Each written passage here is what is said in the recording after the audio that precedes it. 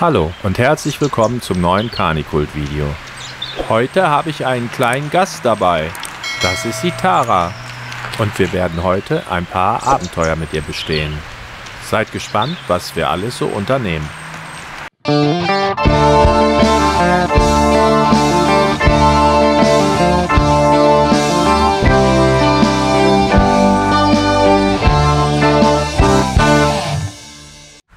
Ciao ragazzi, ich bin Tara, eine Cane Corso Italiano Hündin.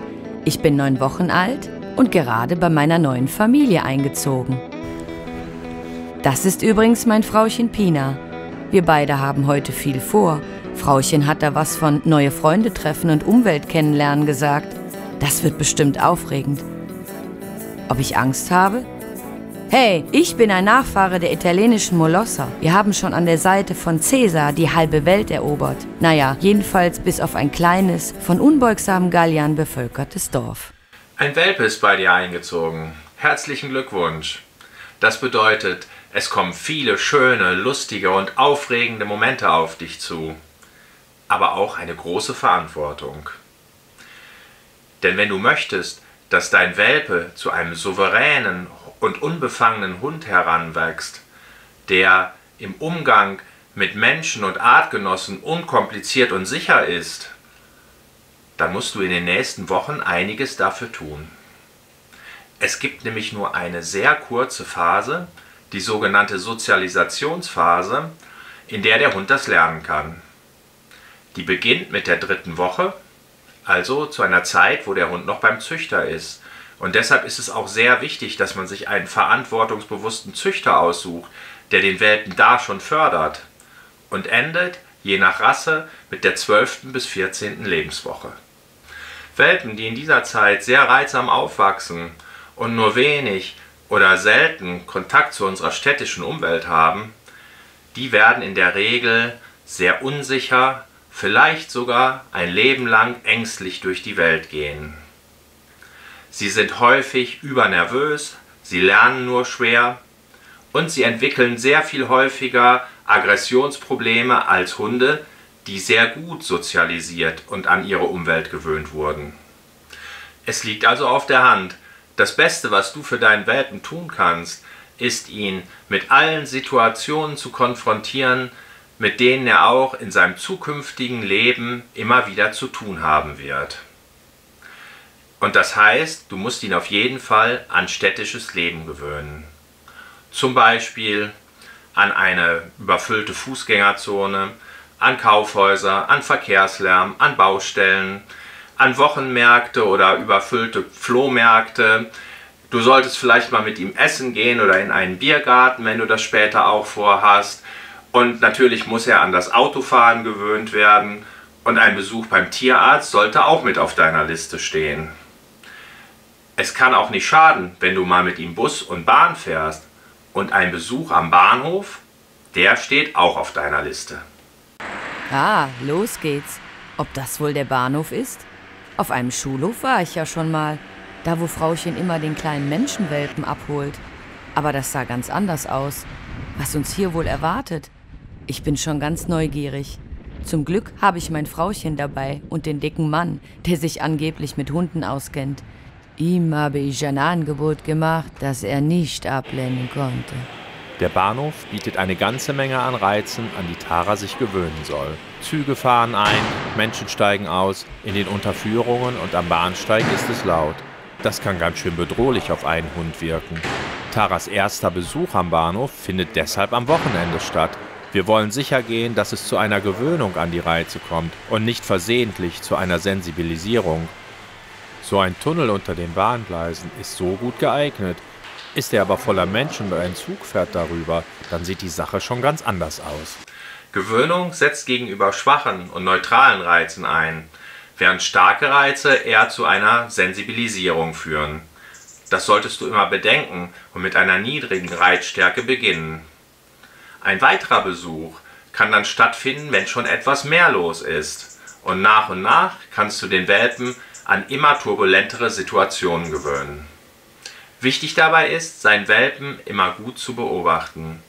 Er soll entspannt und in seinem eigenen Tempo neue Situationen erkunden. Ist seine Körperhaltung entspannt? Super, dann ist alles okay.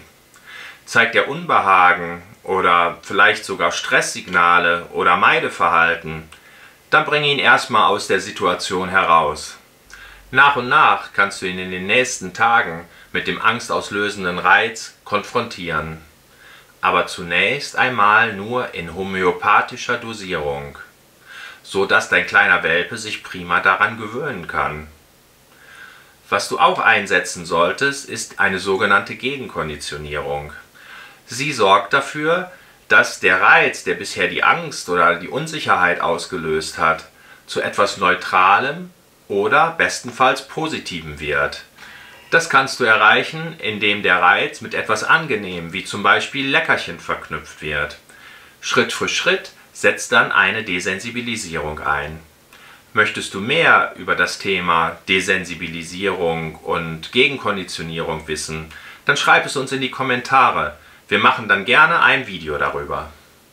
Solange du deinen Welpen noch problemlos tragen kannst, solltest du ihn keine Treppen laufen lassen, sondern ihn auf den Arm nehmen. Aber natürlich muss er auch das Treppengehen kennenlernen und so macht es hin und wieder Sinn, ihn ein paar Stufen selbst laufen zu lassen.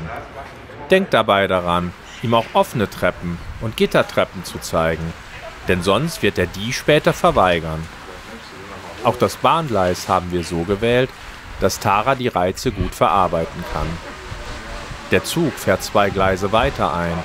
Der Geräuschpegel ist für den neun Wochen alten Welpen gut zu verkraften. Sie bleibt cool und entspannt, aber auch neugierig. Tara beobachtet interessiert das Geschehen. So soll es sein.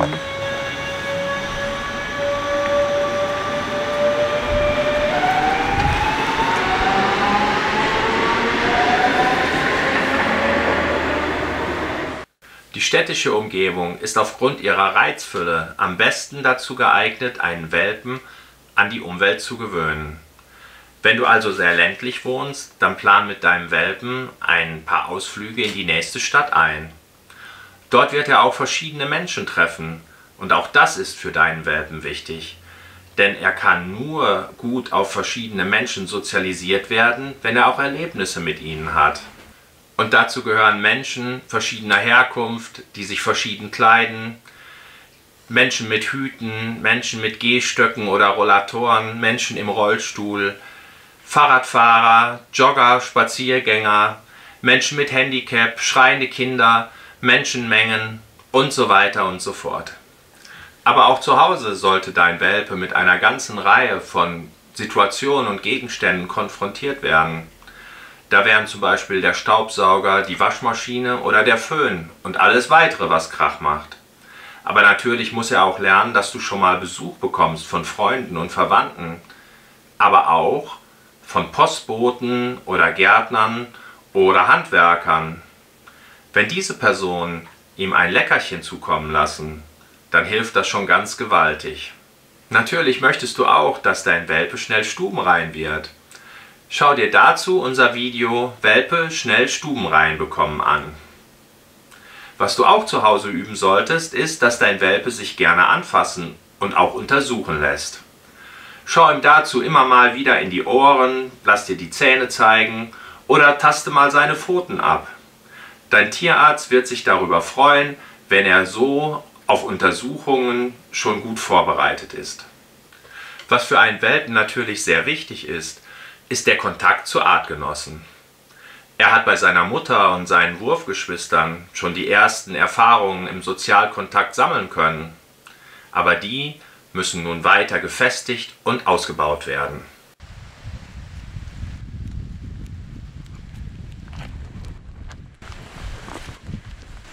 Mama mia, wer ist das denn?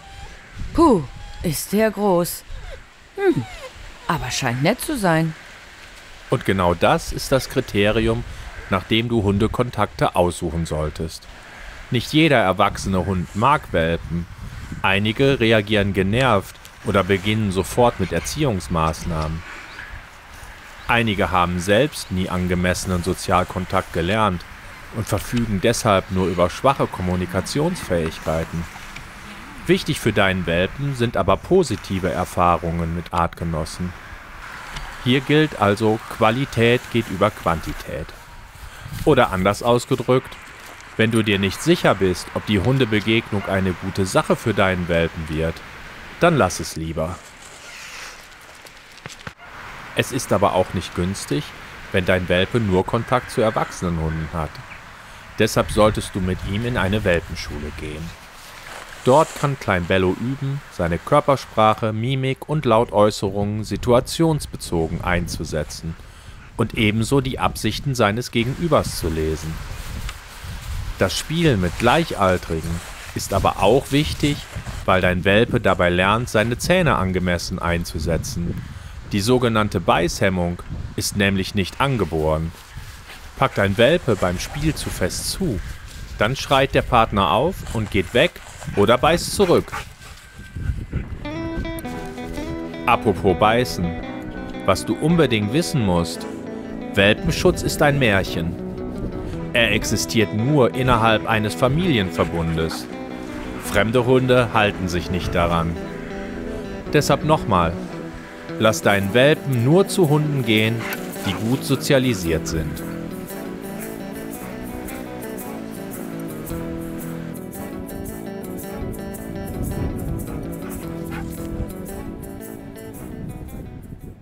Die Sozialisation deines Welpen auf Menschen und Artgenossen und gegebenenfalls auch auf andere Haustiere wie Katzen oder Kaninchen oder auch Pferde, falls du welche hast, und die Gewöhnung an die urbane Umwelt ist das Wichtigste, was du in den ersten vier bis sechs Wochen als neuer Welpenbesitzer machen musst. Denn das ist später nicht mehr aufzuholen. Aber auch wenn die Sozialisationsphase beendet ist, solltest du deinen Junghund auf jeden Fall weiter mit Umweltreizen und mit Sozialisation fördern. Mindestens ein halbes Jahr, besser ein ganzes Jahr. Denn nur dann kannst du sicher gehen, dass die bisher erreichte Verhaltensorganisation sich auch nicht mehr zurückentwickelt. Ja, das Ganze ist mit einigem Aufwand verbunden, aber es ist der einzige Weg, deinen Hund zu einem sicheren und verträglichen Begleiter auszubilden. Tara werden wir auf dem Weg dahin weiter begleiten. Schon bald kannst du dabei sein, wenn sie neue Abenteuer besteht. Ich hoffe, meine Tipps helfen dir, deinen Welpen gut zu sozialisieren und an die Umwelt zu gewöhnen. Wenn dir das Video gefallen hat, dann gib uns ein Like und abonniere kostenlos unseren Kanal. Wenn du zusätzlich das Glöckchen aktivierst, wirst du in Zukunft keinen unserer Beiträge verpassen. Unser nächstes Video erscheint Donnerstag. Bis dahin wünsche ich dir und deinem Hund alles Gute. Kani kultiviere dich.